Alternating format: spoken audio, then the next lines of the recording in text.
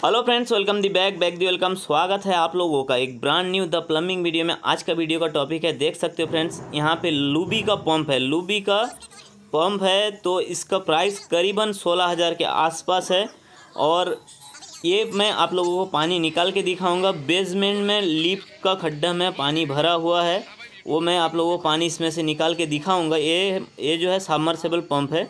यानी कोई भी नया बिल्डिंग होता है तो उसमें ये पंप लगता है क्योंकि कहीं पे भी पानी जमा रह जाता है बेसमेंट में लीप का खड्डा में, ये सब में से पानी निकालने के लिए ये पंप का यूज़ होता है।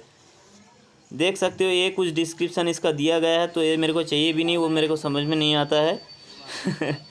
तो यहाँ पे इसको नट को खोल लेना है रोड्यूसन नट जो है उसको खोल लेना है। उसके बाद में इसको टेफलॉन्ट से लगाना है। दोस्तों, ये पंप आपको बहुत ज़्यादा तब काम में लगेगा जैसे कि रिजर्वर टैंक है, उसमें से उसका मोटर का पाइप टूट गया मोटर नीचे रह गया है तो वो रिजर्वर टैंक को खाली करने के लिए इसमें एक डोरी बांधो और ऐसे ही लटका के नीचे छोड़ दो और पानी पूरा का पूरा बाहर फेंक देगा। देख सकते हो, ये टाइट कर लिया, उसके बाद में इसमें जो सेक्शन पाइप आता है, इसका सेक्शन पाइप लगा देना है। थोड़ा बहुत ऑयली टाइप कोई चीज़ लेना है, उसके बाद में इसमें लगा कर जैसे कि मेरे पास मोबाइल अवेलेबल था तो मैं मोबाइल दे दिया हूँ, नहीं तो रूब्लिकेंट रहता है, वो भी आप लोग यूज़ कर सकते हो, ताकि आसानी हो जाए पुश करने में।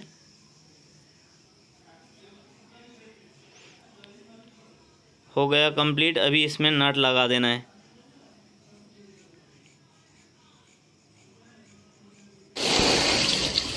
देख सकते हो फ्रेंड्स यहाँ पे चेम्बर में पानी निकाल रहा हूँ। ये लिफ्ट का, खड्डा का पानी है बेसमेंट में से पानी मैं ग्राउंड फ्लोर के ऊपर हिस्से में निकाल रहा हूँ। देख सकते हो कहाँ से मैं निकाल रहा हूँ। मैं लेके जाता हूँ आप लोगों को वहाँ तक। ये रहा ये रहा पाइप। ये रहा लिफ्ट का खड्डा। ये ग्राउंड फ्लोर है और ये जो है बेसमेंट है नीचे। लिफ्ट का खड्डा में पानी पूरा का पूरा भरा हुआ है, कचरा पानी है। तो इसमें देख सकते हो, बहुत दिनों से पानी भरा, नया बिल्डिंग है तो बारिश के टाइम में पानी भर गया था। और एसएमसी वाला ने इसमें ऑयल डाल डाल के और भी पानी का कलर ख़राब कर दिया है, क्योंकि इसमें मच्छर ना हो, इसीलिए उन लोग ऑयल डालते हैं।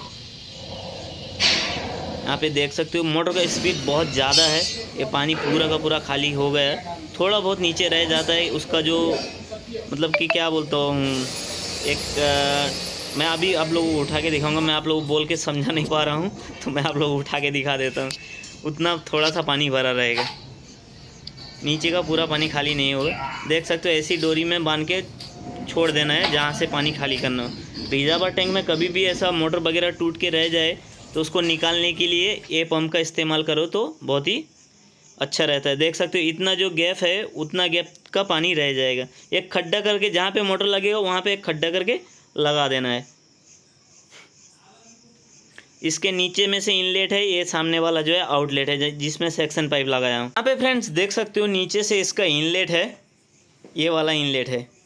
यहाँ में से पानी अंदर जाता है और सेक्शन पाइप में से बाहर निकलता है। ये सेक्शन पाइप है, इससे बाहर निकलता है।